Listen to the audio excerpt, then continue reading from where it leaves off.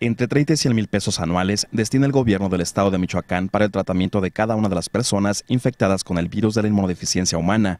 Se estima que 147 mil mexicanos viven actualmente con el padecimiento.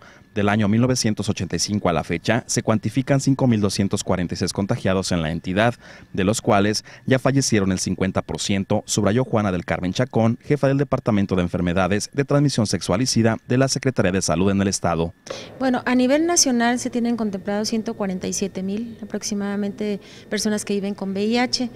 Nosotros en el Estado, hasta el del acumulado desde 1985 a la fecha, tenemos 5.246 y de estos, bueno, pues prácticamente la mitad ha fallecido, pero en este año hemos detectado 161 casos nuevos.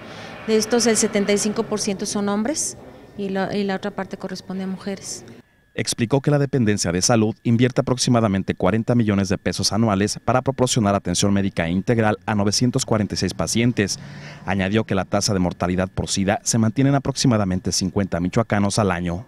Aquí en el estado se gasta aproximadamente cerca de, 40 millones anuales para poder dar tratamiento a todos los pacientes que lo requieren.